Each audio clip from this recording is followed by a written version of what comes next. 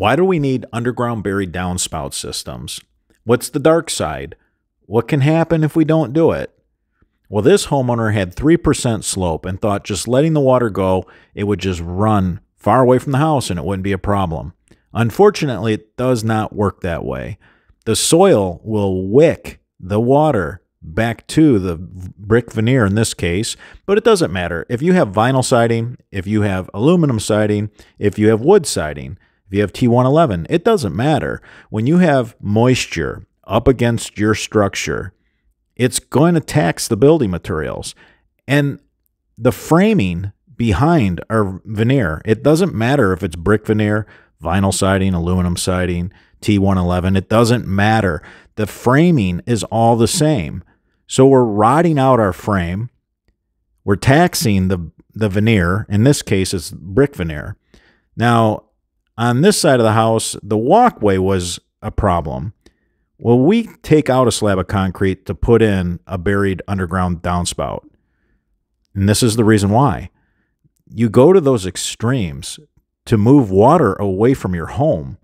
Usually, your home is the biggest part of your investment portfolio or one of the larger assets in your investment portfolio. So you want to take care of it. Now, if you know you have a damaged pipe, get it repaired. In this case, somebody ran a PVC drain in the north. And in the north, we freeze up. No matter what, you freeze up. And when the PVC cracks and you end up with a break, then it'll attack the brick veneer or your wood framing. Again, doesn't matter what your house is veneered with. Homes are built the same as far as the framing is concerned. You want to get the water safely away from your house. You want to get it far away from your house. And that's another thing. How far do you go to get the water out? Well, we'll pull up a brick paver walkway and relay those pavers to get the water away from the house. Now, how far? Well, in this case, we don't want to let the water go right in between two homes. We want to get it far away from these homes. If I had to give you a number, I would say 15 feet past the corner of the house. I don't care if it's the front corner or if it's the back corner of your home.